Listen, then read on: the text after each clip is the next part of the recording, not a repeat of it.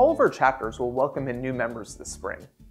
While we're excited for the next generation of Alpha SIGs, we're also aware of increasing hazing reports from the fall term. Here are a few tips to help you have a safe new member period.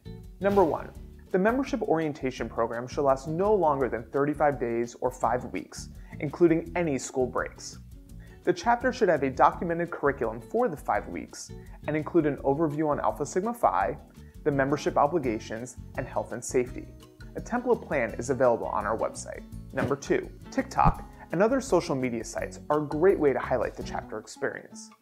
PledgeTok when new members post on their TikTok using that hashtag while performing an activity is not a good use of TikTok. The activities, outfits, and time of day new members are highlighting in PledgeToks can oftentimes be considered hazing. PledgeToks are often screen recorded and provided to your college or university with the individual's names and thus easily traced back to the chapter. Number 3. We heard many of the same excuses for hazing that we traditionally hear, including, they weren't forced to do it, we told them they could tell us if they were uncomfortable, and no one said anything. They asked to be hazed. And other groups on our campus are worse. These excuses are often used to make our current members feel better about what they're doing, but are never an actual justification for hazing. Number 4. Alpha Sigma Phi recently partnered with Stop Hazing, and their website offers many great resources for your chapter. Click the link below to visit their website.